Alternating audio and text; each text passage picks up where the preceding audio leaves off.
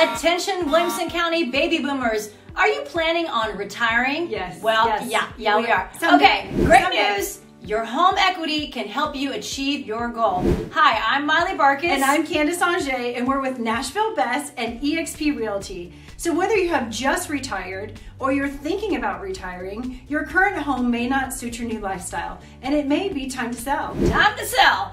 Okay, according to research from the Retirement Industry Trust Association, a lot of oh, words. Say that again. Yeah. The typical retirement age is 65 years old, and most home homeowners have built up enough home equity to help with the next phase of their lives.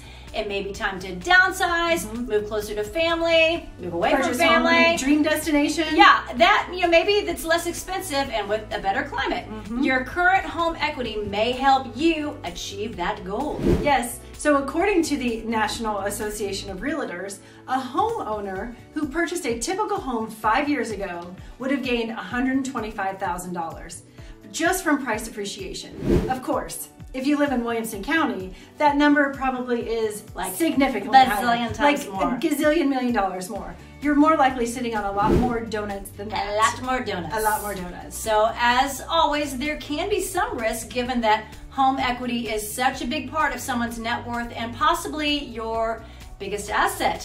It's best to consult. That's her favorite word, asset. It's her favorite word. Um, It's best to consult with very reliable realtors as you move into, let's keep going, your golden years of retirement. Please feel free to contact our team with questions and we can help you Yes. make an informative, I fun like decision. Through this video alone, I'm sure you have the most confidence in us in Yes. the world. So I'm Candace Anger with I'm Best Barcus. and EXP Realty. giving you the best real estate service in the best town ever. for sure. Nashville, Nashville! Tennessee.